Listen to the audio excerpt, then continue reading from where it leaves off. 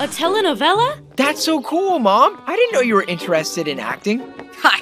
When I was young, I dreamed of becoming an actor. But when I got to college, I could only choose one major. In the end, I went with nursing because it felt more practical.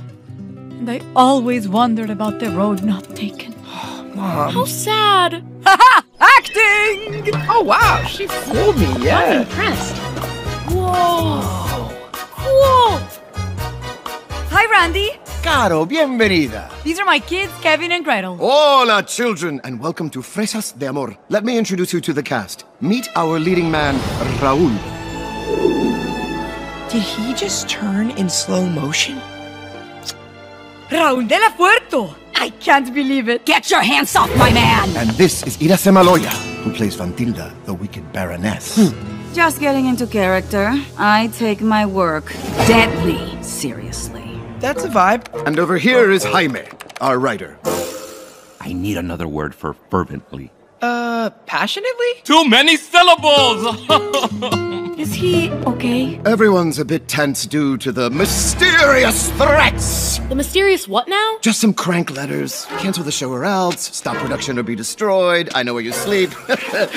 Telenovela fans, am I right? Why don't you kids check out the shoot while we get your mom into the hair and makeup chair? Ooh, fancy!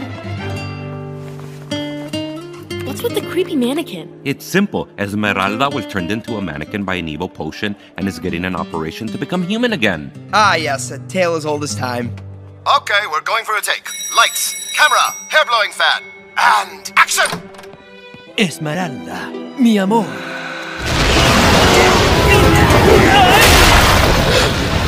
Cut, cut! You've been warned, end Fresas de Amor now!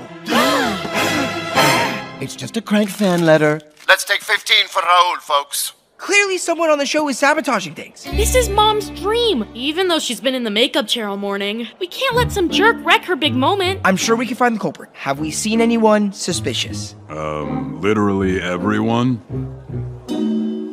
Good point. Let's start with our first clue the note. It's on the back of the script. Not just any script. Look at the highlighted lines. Ventilda the Wicked Baroness. The script belongs to Iracema Loya. The villain is the villain.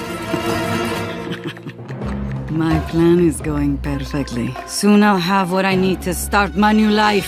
Farewell, fresas de amor!